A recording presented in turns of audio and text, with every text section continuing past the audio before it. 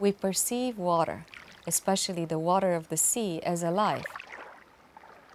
This liveliness is captured in the Greek word marmarygma. The root is marmar. That root is in the Greek word for marble, marmaron. The 6th century Justinianic interior of Hagia Sophia doesn't have human figures in the monumental mosaic.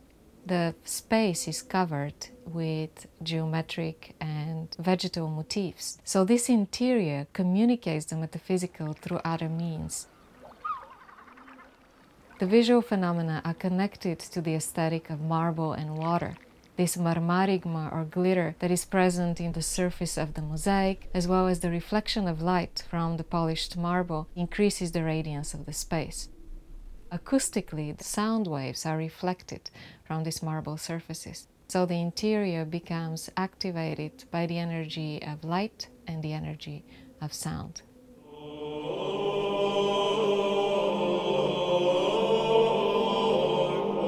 The chant that unfolds in this space has a reverberant return that the space immediately imprints on it. Therefore, human speech becomes stretched, extenuated.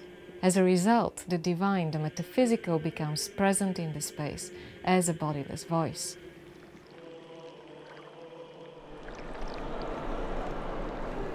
Hagia Sophia today is a museum and there is a ban for any performance of the human voice or instrumental music. Digital technology becomes our only means to experience this fantastic building as an instrument of the human voice. If you make a sound in an enclosed space, you're going to hear that sound and you're going to hear all the reflections and reverberation that the space gives you. The space doesn't care what sound you make. It's going to process it in the same way. You get the same reflections, you get the same reverberation.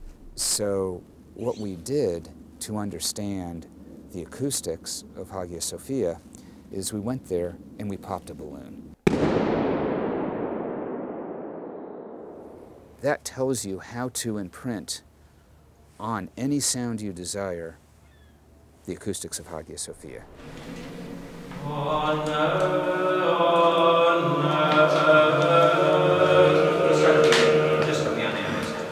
The enhancement, it's done so well that we make the normal kind of adjustments we do in different buildings.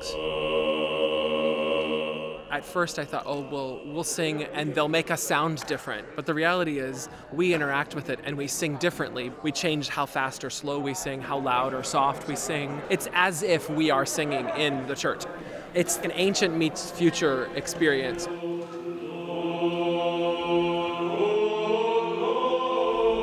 Even though a lot of these texts are still sung in various Eastern Orthodox traditions today, to hear them with their original music in their original sequence that gives you some kind of window into what the experience of worship would have been like for the people at that time.